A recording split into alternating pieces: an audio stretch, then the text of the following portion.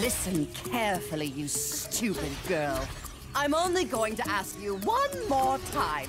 Why haven't you disposed of that infernal dragon? I, I've tried to scare him off, Your Highness, but he's just not afraid of anything.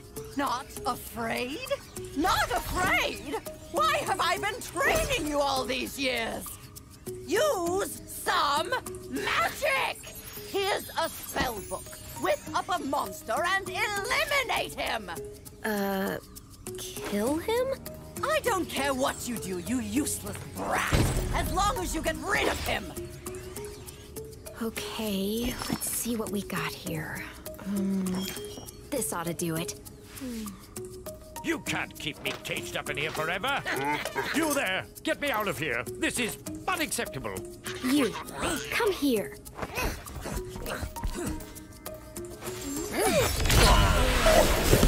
Oh my.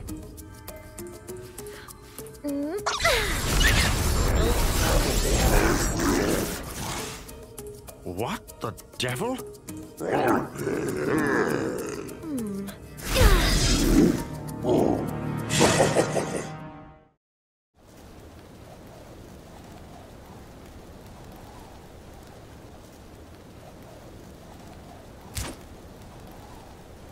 When I heard the sorceress was planning to ambush you, I got here as fast as I could. No worries though. This wussy green toad will be no match for the two of us.